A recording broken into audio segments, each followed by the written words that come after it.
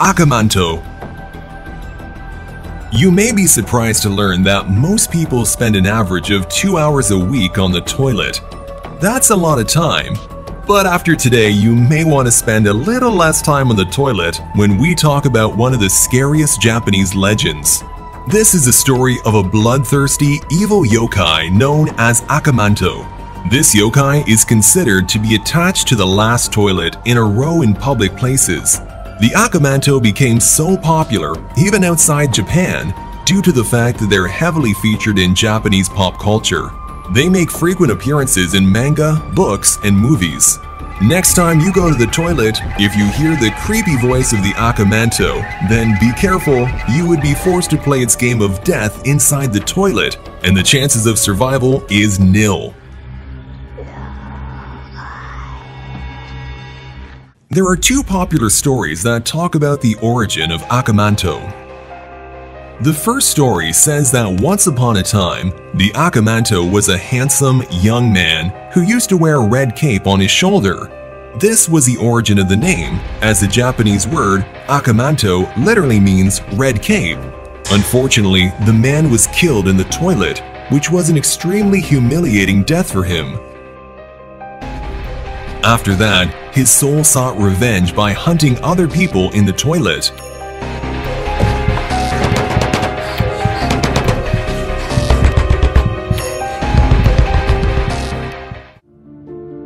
The second story suggests that Akamanto was actually a schoolgirl in a red school dress. 私を知っているのかまあどうでもいい According to this story, her real name was Hanako-san. she was a student who suffered from constant humiliation by her classmates.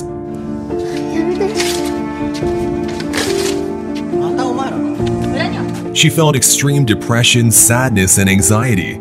As a result, she passed away in the school toilet.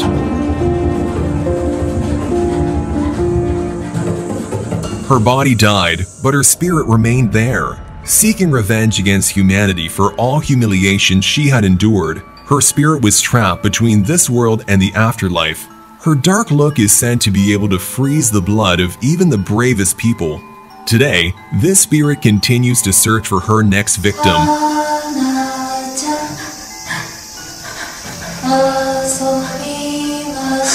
Akamanto usually appears when you finish doing your business.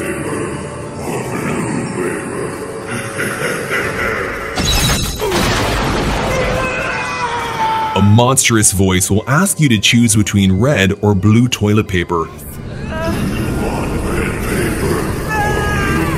Yellow! I'll take yellow, Charmin!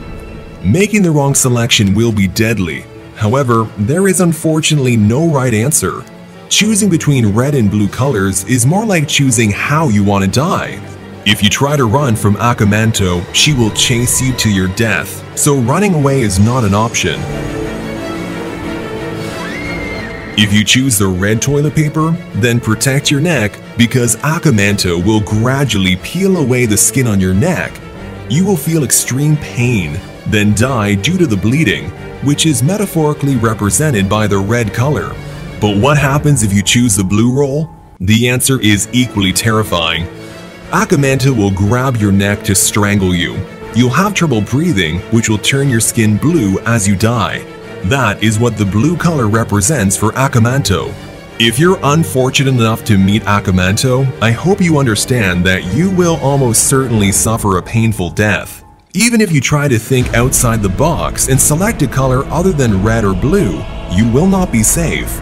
An otherworldly passageway will appear beneath you and pull you into the world of darkness where you will die.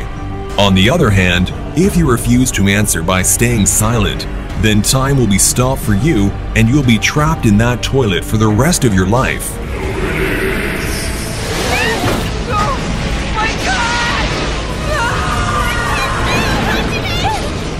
Feeling hopeless?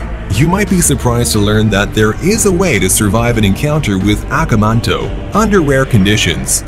One way is to calmly reply to Akamanto that you don't need any paper. However, she must be in a good mood for this to work. Alternatively, you can choose the yellow paper.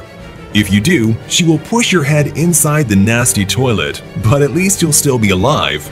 And that's what matters most for many people. Just hang on! Hang on! Why didn't I think of that?